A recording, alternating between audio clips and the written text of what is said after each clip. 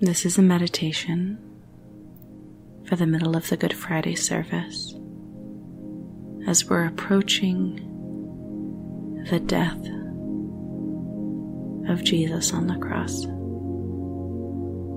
This is a time to relax, to breathe, and to set an intention. Connect to all the parts that we've meditated on this Lent, and also any parts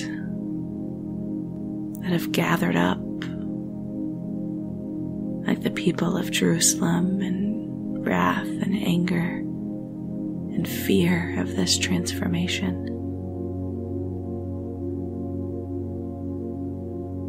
And anything else that's ready to be transformed.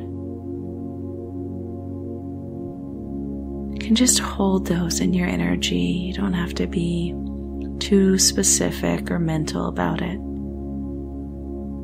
Just kind of expand your energy around your whole self. And we're going to set an intention to release, to let die those things which are ready to die with Jesus on the cross. Breathe and relax. Hold the whole of yourself and say in your heart, Master Jesus and Mary, thank you for this gift of grace that you do so much of the work to release and heal these things in me. That by your gift, you have eased my path and energized my transformation. Please help me now to release all those things which I am ready to release, which do not serve me any longer. I accept your grace and I accept this gift which you enact each year in this sacrifice. I want it. I want to let go of those things which are ready to die in me. And when you rise on Sunday, I ask that you bring me up in vibration, that you lift me and bring me closer to the true expression of my soul,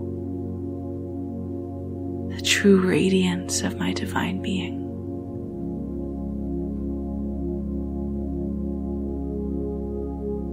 Want this. Thank you, Masters. Thank you for this gift which you are about to energetically reenact for us. I bring myself and all my parts to you to receive of this gift.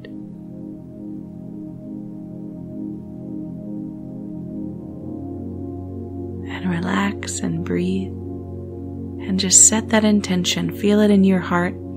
Don't worry about trying to make it happen. Just believe that it will, that it is, and have an expectation in your heart of new life, new growth and development in whatever form it will take, whether it be subtle or dramatic. Know that as Jesus rises on Sunday, your own soul will rise up as well. New life will come to your whole system and new ease of growth. Tune into gratitude and love for this gift.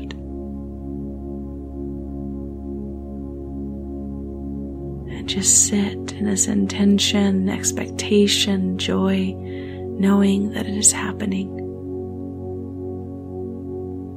and joining yourself in love to Jesus as we move through this piece of the story where he dies. Let the love guide you and ground you.